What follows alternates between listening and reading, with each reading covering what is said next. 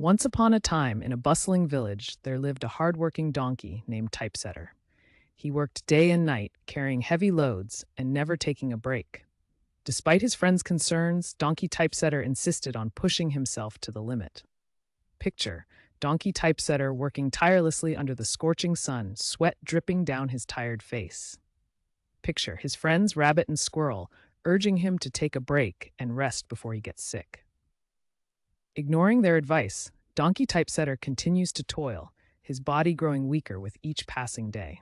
One day, while struggling to carry a particularly heavy load, Donkey Typesetter collapses from exhaustion.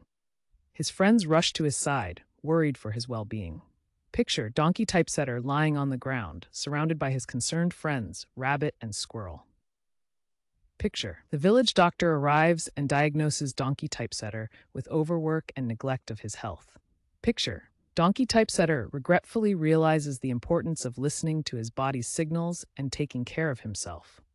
With the help of his friends and the doctor, Donkey Typesetter begins a journey towards self care and recovery. He learns to listen to his body's needs and prioritize rest and relaxation. Picture Donkey Typesetter resting in a shady spot, sipping on a healing herbal tea made by Squirrel. Picture Rabbit and Squirrel by his side, offering support and encouragement.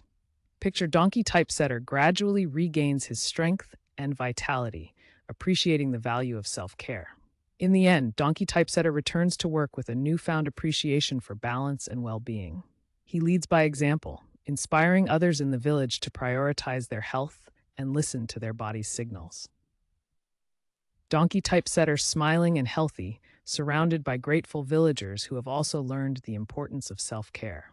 And so, Donkey Typesetter's tale teaches children the valuable lesson that ignoring their body's signals about the need for rest or care leads to overwork and poor health. Listen to your body, take care of yourself, and thrive in balance and harmony. The end.